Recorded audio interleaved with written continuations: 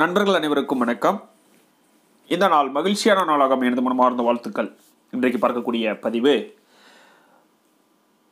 என்னுடைய வாஸ்து வாடிக்கையாளர் ஆத்தூர் வாஸ்து வாடிக்கையாளர் அவருடைய ஃபீட்பேக் மற்றும் செப்டி டேங்க் அமைக்கும் போது கவனிக்க வேண்டிய விஷயங்கள் என்ன அப்படின்றத பார்க்கலாம். இந்த பதிவு பார்க்கறதுக்கு முன்னாடி ஒரு நற்சிந்தனை. நமக்கு கிடைக்கும் மகிழ்ச்சி என்பது இடங்களை பொறுத்து அமைவதில்லை. நம்மோடு பயணிக்கும் மனிதர்களை பொறுத்தே அமைகிறது. இன்றைக்கான பதிவுக்குள்ளே போகலாம் என்னுடைய வாஸ்து வாடிக்கையாளர் ஆத்தூர் ஆத்தூரிலிருந்து இருபத்தி ஐந்து செப்டம்பர் ரெண்டாயிரத்தி பத்தொன்பதாம் ஆண்டு என்னை தொடர்பு கொள்கிறாரு அவருடைய அவருக்கு வாஸ்து ஆலோசனை மற்றும் வாஸ்து முறைப்படி வரைபடம் வேணும் ஃப்ளோர் பிளான் வேணும் அப்படின்ட்டு என்னிடம் கேட்டிருந்தாரு. நானும் அவர்கிட்ட வந்து பார்த்திங்கன்னா அவருடைய இடத்தினுடைய வீடியோ ஃபோட்டோஸ் எல்லாமே நான் கேட்டிருந்தேன். அதுக்கப்புறம் அந்த இடம் வந்து சரியான திசையை பார்த்துருக்கான்னு சரிபார்த்து விட்டு அந்த இடத்திற்கு வந்து ஆட்டோ கேட் பிளான் கொடுத்துருந்தேன். நான் ஒரு சில ஃபோட்டோ நான் இங்கே அட்டாச் பண்ணியிருக்கேன் பாருங்கள் அவருடைய இடத்தினுடைய பேஸ்மெண்ட் இப்போது இருக்கக்கூடிய வீடு கட்டி இப்போ ஆல்மோஸ்ட் முடிகிற தருவாயில் இருக்குது இப்போது ground floor and first floor வந்து முடிச்சிட்டாங்க. ஆல்மோஸ்ட் முடியும் தருவாயில் இருக்குது நான் கடந்த ஜனவரி ரெண்டாயிரத்தி இருபத்தி ஒன்றாம் ஆண்டு வந்து அவருடைய இடத்துக்கு நான் போயிட்டு கட்டியிருக்கிற வீடு வந்து சரியாக நம்ம கொடுத்த பிளான் படி கட்டியிருக்காங்களான்னு நான் எல்லாமே சரி பார்த்துட்டு வந்தேன். அருமையாக கரெக்டாக கட்டியிருக்காங்க. இதற்கெல்லாம் காரணம் என்ன அப்படின்னு பார்த்தீங்கன்னா ஒரு சரியான வரைபடம் திட்டமிடல் முதல்ல வந்து அந்த இடத்தை சரி பார்த்து விட்டு ட்ராயிங் கொடுத்துருந்தேன். அவங்க எப்போல்லாம் சந்தேகம் கேட்குறாங்களோ அவங்களுடைய சந்தேகங்கள் வந்து நிவர்த்தி பண்ணியிருந்தேன். ஸோ நம்ம கொடுத்த பிளான் படியே பக்காவாக எல்லாமே கட்டியிருந்தாங்க. நான் எல்லாமே மெஷர்மெண்ட் எடுத்து எல்லாமே பார்த்தேன்.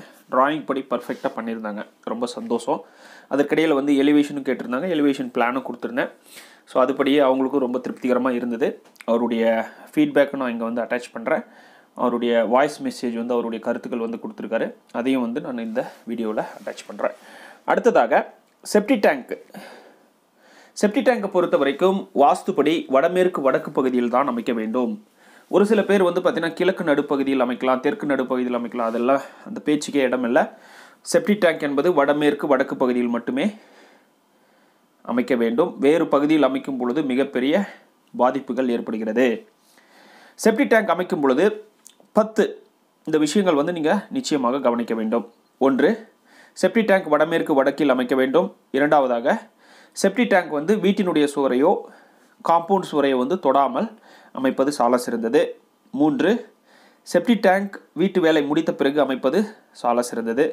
நான்காவதாக செப்டி டேங்க் தண்ணீர் வெளியே வரக்கூடிய அந்த ஓல்ஸ் மாதிரி விடுவாங்க. அது வந்து நிச்சயமாக தவிர்க்கப்பட வேண்டும். ஏன்னா பக்கத்தில் வந்து போர்வெல் இருக்குது அப்படின்னா அந்த போர்வெல் வந்து செப்டி டேங்கினுடைய வாட்டர் வந்து கனெக்ட் ஆயிரும்.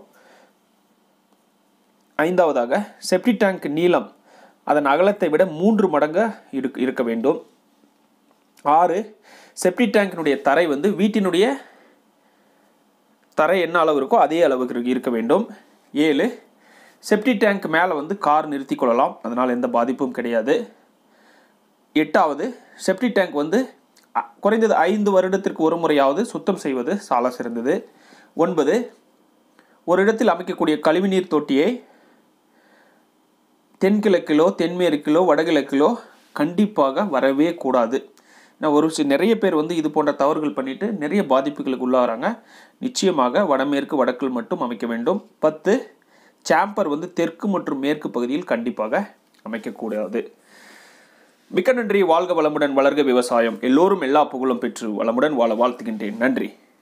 வணக்கம். என்னோட நேம் ஸ்ரீனிவாசன். நான் ஆத்தூர்லேருந்து பேசுகிறேன் நம்ம அமிர்தலிங்கம் சாரை வந்துட்டு எனக்கு யூடியூப் மூலயமா நான் ரெஃபரன்ஸ் கிடைச்சிது. ஆக்சுவலி டூ தௌசண்ட் நைன்டீன் ஒரு டூ இயர்ஸ் முன்னாடி நம்ம வந்து வீடு கட்டலான்னு சொல்லி பிளான் பண்ணியிருந்தோம் நேட்டிவில் நான் இப்போ இருக்கிறது சென்னையில்.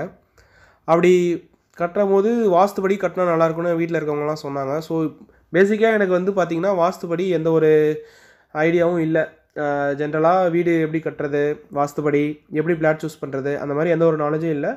ஸோ அந்த டைமில் வந்து ஒரு டென் மந்த்ஸ் வந்து ஒரு பெரிய கன்ஃபியூஷனில் இருந்தது. எந்த மாதிரி கட்டலாம் வாஸ்து எப்படி பண்ணலான்ட்டு இருக்க டைமில் நம்ம யூடியூப்பில் அமிர்தலிங்கம் சார் வீடியோஸ் எல்லாம் பார்த்தேன். அப்படி பார்க்கும்போது ஒரு ஒரு அண்டர்ஸ்டாண்டிங் ஈஸியாக கிடச்சிது.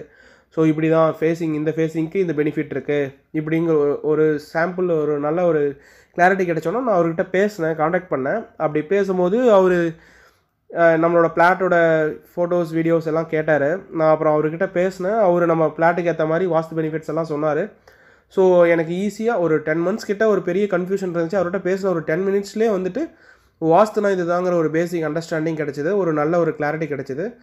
ஸோ எனக்கு தெரிஞ்சு ஒரு இவர் ஹேண்டில் பண்ணுற கிளைண்ட்டை ஹேண்டில் பண்ணுற அந்த வே வந்து ரொம்ப சாஃப்டாக இருக்கும். நம்ம எந்த டைமில் வேணால் இவர்கிட்ட நம்ம கால் பண்ணி எந்த ஒரு டவுட்டு சின்ன விஷயம் கேட்டாலுமே அவர் எளிமையான முறையில் ஈஸியாக எக்ஸ்பிளைன் பண்ணி நமக்கு அந்த புரிஞ்சுக்கிற மாதிரி அந்த கிளைண்ட்டோட நீடை வந்து புரிஞ்சுக்கிட்டு அவர் ஈஸியாக எக்ஸ்பிளைன் பண்ணுற ஆட்டிடியூடு எல்லாமே வந்து பார்த்திங்கன்னா ரொம்ப இம்ப்ரெசிவாக இருக்கும்.